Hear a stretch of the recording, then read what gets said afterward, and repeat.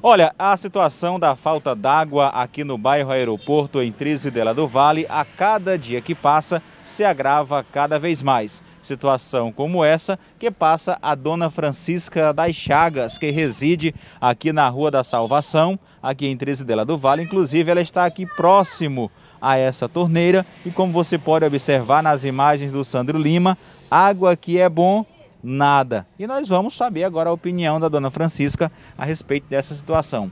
Há quanto tempo os moradores estão vivendo nessas condições, dona Francisca? O mês de abril a gente só teve água praticamente à noite. No, de dia vem água nessa torneirinha e a gente fica carregando de baldinho em baldinho para encher o filtro. Aí quando é de noite, de madrugada, eu aproveito como domingo de madrugada, eu enchi o tambor do banheiro carregando no balde. Porque eu tive coragem, que minha filha estava aqui mais o Cristóvão, né? Se não tivesse, eu não tinha coragem de levantar de madrugada para encher vasilha. E daí para cá não enchi mais. Está aí tudo seco. Se quiser olhar, mostra tudo seco. Aí se fala, deixa eu mostrar o celular, pegar o celular para ver as mensagens do seu Rails.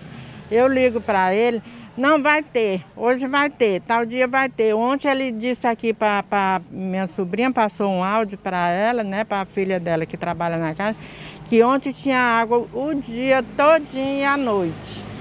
Quando foi ontem, aí ela ligou do meu celular, ele conhecendo o meu celular, passou as mensagens bem ali, tá ali. Se eu quisesse ligar para a Caema, ligasse naquele número, né, porque ele estava de férias. Como você pode observar, realmente está aqui a cobrança feita por parte da CAEMA no valor de R$ 30,65. A conta a conta está chegando, mas a água que é bom, nada. O que é que consta aí? 11 metros de água? 11 metros de água.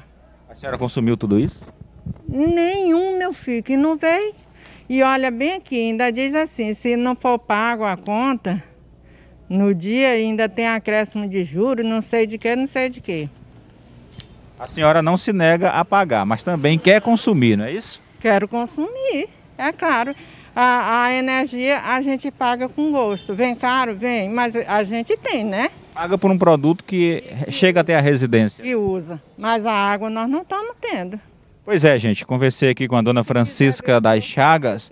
Nós, nós agora vamos aguardar um posicionamento da CAEMA a respeito dessa situação que não acontece só aqui na casa da Dona Francisca, mas em todo o bairro Aeroporto, aqui na cidade de Trizidela do Vale.